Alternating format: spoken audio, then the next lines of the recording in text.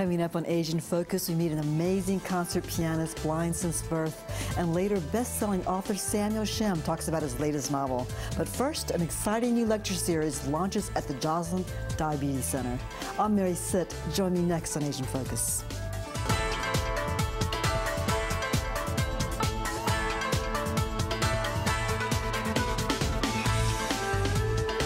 17 years ago, the Joslin Diabetes Center founded the first in the nation Asian American Diabetes Initiative to raise awareness of diabetes in the Asian American community.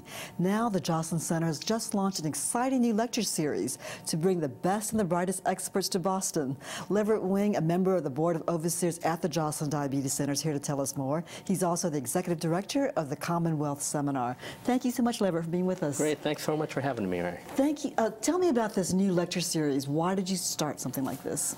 Well, my parents and I have been very active with Joslin for um, nearly 20 years. My dad was a trustee there. I'm an overseer there now. Um, our family, it's been a, it's a very personal, uh, personal uh, story for us. My dad uh, suffered with diabetes for nearly 40 years. My mom tells a story that if it wasn't for Joslin, um, he was diagnosed with diabetes when I was three. And if it wasn't for Joslin, uh, she'd have been a single parent before I was 10 years old. So they have to treat, manage, yep. educate, all of that. Yep, and, and with, with Joslin's, uh, with Joslin's uh, medical advice and mom's diligent care because dad was one to kind of sneak off of his right, diet here course, and there. A little candy. Uh, exactly, ice chocolate. cream. I'll, I'll right, tell you a story right. off camera about him two fisting ice cream cones and mom getting just just just going ballistic.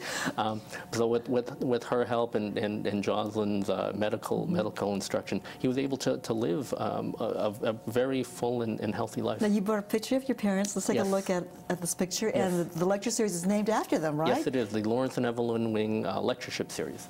And and they were very involved in the center too. He's your dad was also on the board of the Joslin yep. Center as you are now, yep. right? He was a trustee for probably about 20 years. And this is a picture of the very first lecture you had. Tell me about this now. Well, so it took five years in the making to get all the yes, funding together, it right? Was, uh, I think you had me on a few years ago when I was doing my fundraising, right. and I was I, had, I had threatened like, to shave my you were going to shave your head to raise money, and That's did you have right. to shave your head? No, I, I, thankfully my female friends stopped me from doing that, so they we started they a they, no we started a shave my head versus save my hair oh. fund. And so it, it, was funny because it fell along gender lines. They, my guy friends were like, yeah, do it, that's awesome.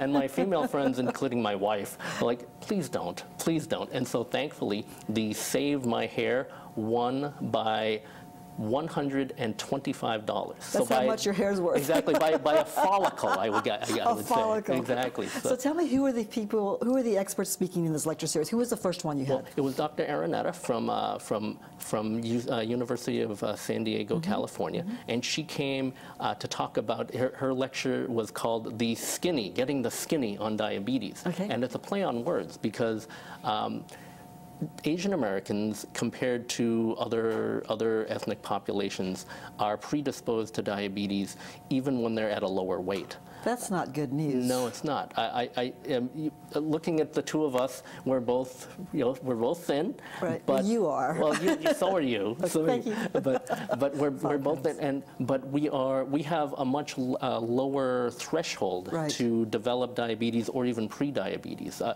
um, the body mass index, that's a, a right. ratio of, of, of, of, weight to, to height, um, for uh, Caucasians, the, uh, their, their threshold is 24.9. Mm -hmm. um, for Asian Americans, ours is 22.9. So we, we have a lower threshold to reach, to reach the potential so diabetes. What can Asian Americans do to prevent diabetes? Well, first and foremost, uh, get, get, uh, get assessed go to your doctor, get your blood uh, level taken, blood, mm -hmm. blood glucose level taken. Uh, the other is exercise, and, th and, this is just for, for basic basic health uh, right. health and wellness. Um, just get your uh, stay active, mm -hmm. um, exercise, don't smoke. Right. Um, just the basic. Uh, you know, watch your diet. Uh, you know, say keep sort of the vegetables and vegetables, Whole fruits. Not yeah, and not not too many fats. Not too many fats.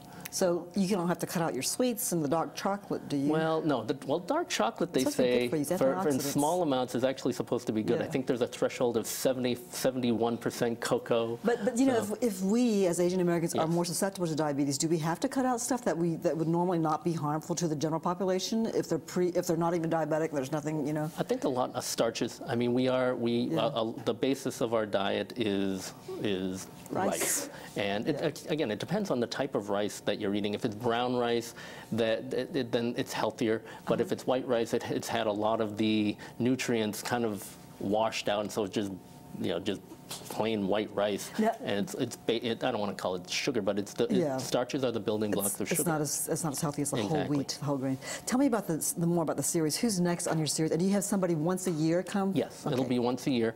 Uh, Dr. Araneta was was such a, a big success. I don't know if you put the, the photo up of, of her lectureship. We probably we had uh, about 150 to 200 Yeah, people that. in Mhm, that uh, in the auditorium. It was funny because when we launched this, I was thinking, you know, we'll have okay 30, 35 people. It'll be small, and then I walked that in. fundraising. Yeah, and all those follicles. exactly. And then, Here it is. then, we, then I You got a walked good- into the room, Uh-huh. and there was this room full of uh, 200 people. I'm thinking, we're never going to fill this. and then we filled it, and it was it was really exciting, and I, I was so grateful. We had my, uh, f- uh, friends and family come in, folks from the community. Is it the same time every year now that you're going to have it? Uh, Probably thing? around the same time. Which is when? Um, well, we had it on, on March 1st, and so we'll probably have it in the spring. Um, and all the talks will be centered on diabetes, the latest research. Is that right? Yeah, uh, as I mentioned, her her discussion was called "The, Skinny, Skinny on right. Diabetes," and it was based on research done in the Filipino community. There's, Okay. there's such a dearth of information about the Asian American Right. community and diabetes Right. that when you were able to get some, that a a doctor like this comes around and is able to synthesize all that data and just explain it in a way where somebody like even I could understand. Now, Leverett, if somebody can't make it to the lecture, can, are you going to post this online on the website? I think it is actually up on the website, Oh, on Joslin's great. website. If, and if, I, I think by the time the show airs, it definitely will be, it will be up on the website. So people who um, are not around can find out the latest research on the Asian population and studies done on that population, And right, actually, which is that's really important. That's, I mean, Joslin's website for the Asian American Diabetes Initiative is fantastic. It's Mm-hmm. in English, it's in Chinese, it's in Japanese. They have uh, your own BMI. You can you can measure your own BMI. Oh, that's Uh, they also have something uh, where you can. Uh, they used to call it the wok, where you can put food into a, Oh, a makeshift WOK walk. wok, right, exactly, uh-huh, uh-huh. and and I can't remember what it's called now, but you can you can make your own dishes, and they'll they'll tell you the nutritional value, the the, the, Really? the amount of It's sugar in it, website? calories, yep, and and you can kind of.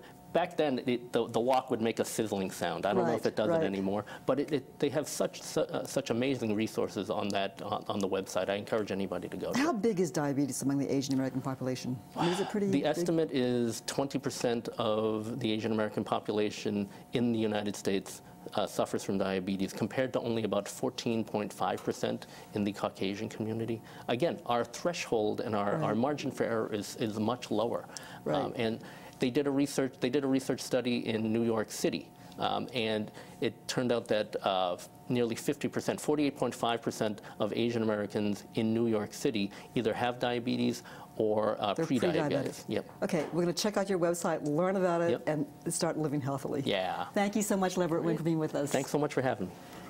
Coming up next, the concert pianist Yu Jin No, blind since birth, who took up the piano at the age of 14. Stay with us.